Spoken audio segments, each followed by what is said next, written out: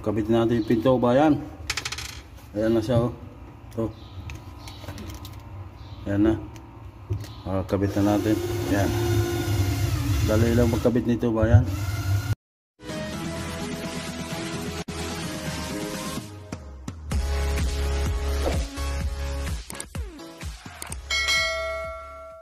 Ah, ito yung ginawa kong counter kabayan. Ayan siya. Dalawa. Ayan. Ayan yung design. Tingnan nyo yung design sa harap.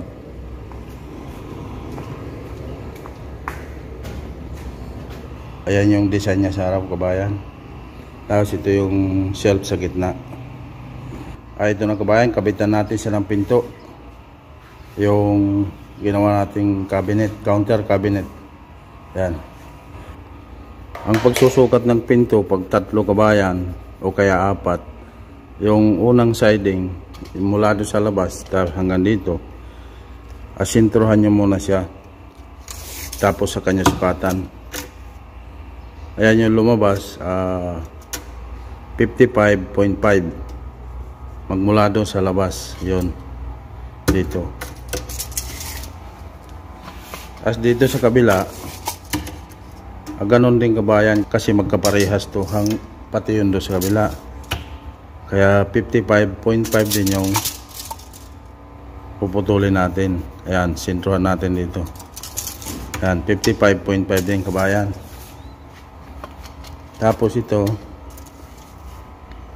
uh, 68.5. Ngayon, ang gagawin natin, uh, pumutol lang tayo ng 68 para may allowance tayo na half centimeter. Ay, ito na bayan yung pinto, natabas ko na siya. Ayan siya. Oh. Ayan, 55.5. Tapos ito, di ba 68 yung sinabi ko doon. Ayan, 71 yung taas yan, kabayan. Tapos,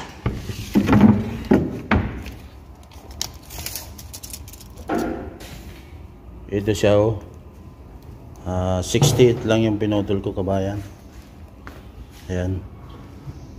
Para may allowance tayo na half centimeter. Alagyan natin ng conceal hinges bayan. Uh, ito yung pinto kabayan na dalawa. Uh, putulin natin para sa drawer. Tapos yung ibaba, conceal hinges na lang lagay natin. Uh, yung drawer na yun, uh, pintuan natin ng 18, 18 cm. Kaya yung pinto na to putulin natin.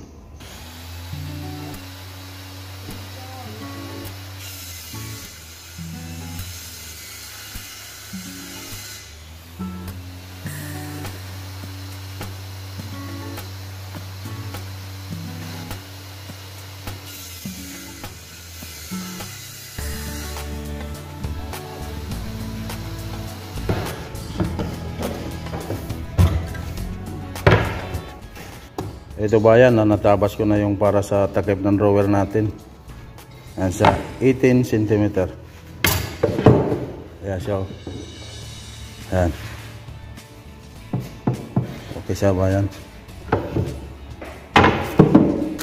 Ito pala yung gagamitin natin na ano, conceal hinges kabayan.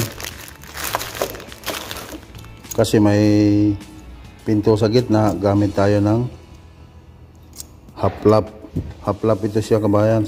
C2 kasi ito naman yung overlap para sa gilid.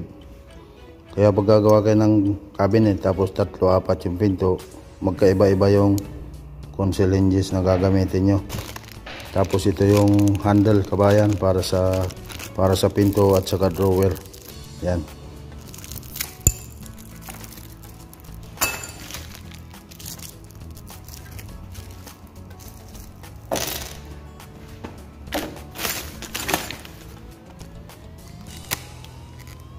Tapos ito kabayan, bumili ako kahapon ng ano.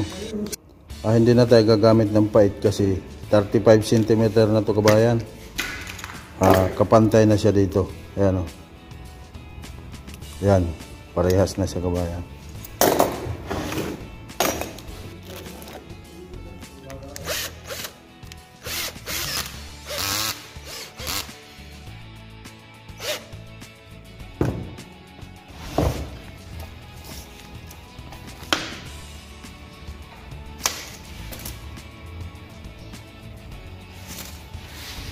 Ayan kabayan, yung sentro ng butas ng console hinges, uh, 2.5 lang kabayan.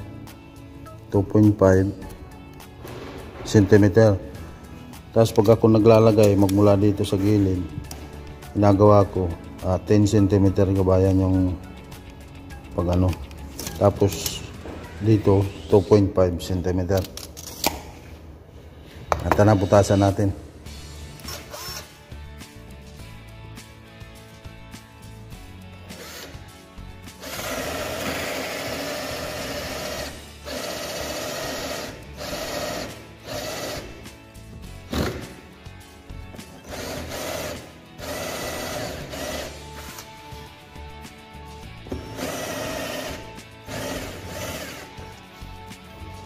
Ayan, dahil sa gilid, uh, overlap yung gamitin natin kabayan. Sa kabayan, no? matuwid lang siya, matuwid. Yan, saktong-sakto. Hindi na tayo nagpait.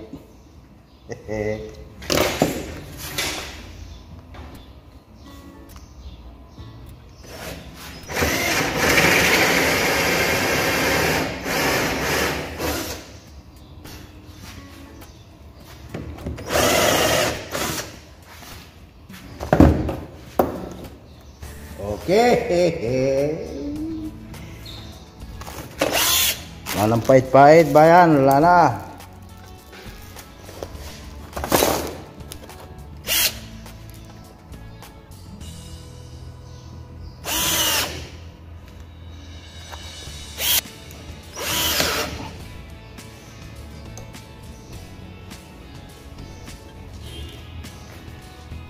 Hydraulic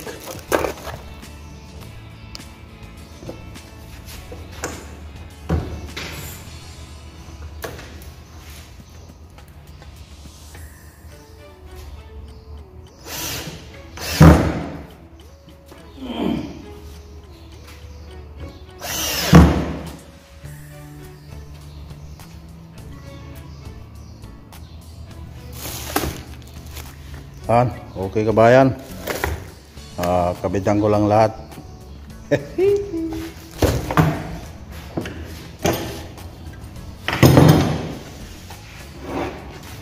Kabit natin yung pinto bayan.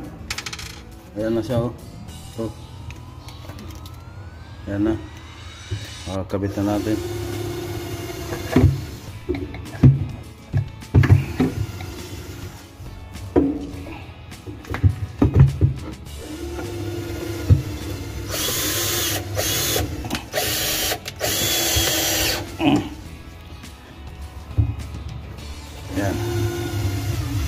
Magkabit nito bayan.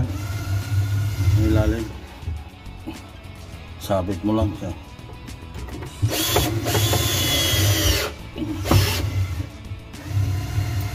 Pos na.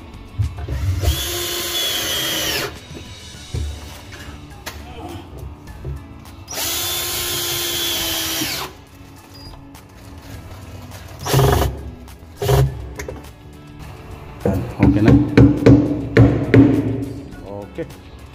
Adjust na lang konti pa ano dito sa baba nakalabas yung ano tapos dito. Nakapasok sa loob kaya adjustan natin. Ito kabayan higpitan mo lang ito. Ito higpitan lang. Yan. Yan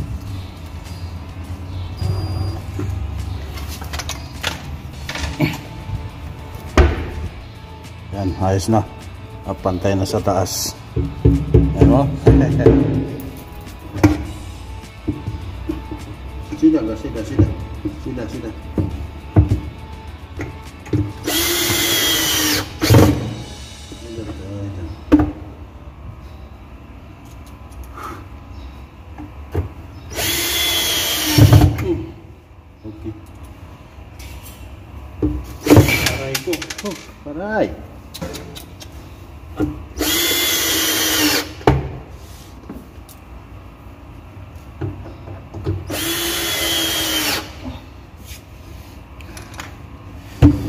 Lagay natin yung handle kabayan lagay lang natin ano 5 cm 5 cm dito, 5 cm dito.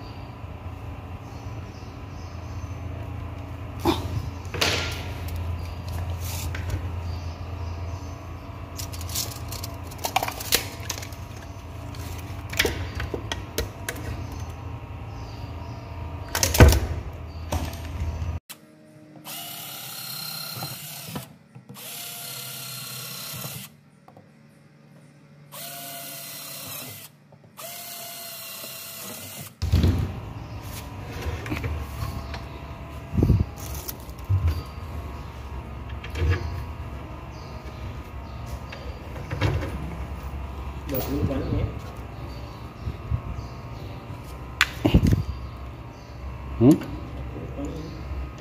Kaya mahal paano ito?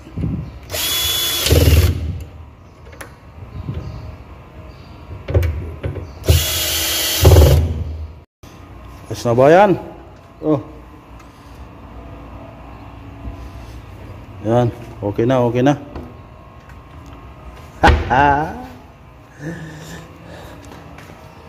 Dito okay na rin ba yan? Okay na yung drawer natin. Yan. Okay na yung takip. Ito. Dito rin. Malambot yung nabili kong ano. Ah, slide drawer. Malambot. Okay ba yan? Ayos, ayos. Tapos na natin yan yung isa. Ayun yung isa.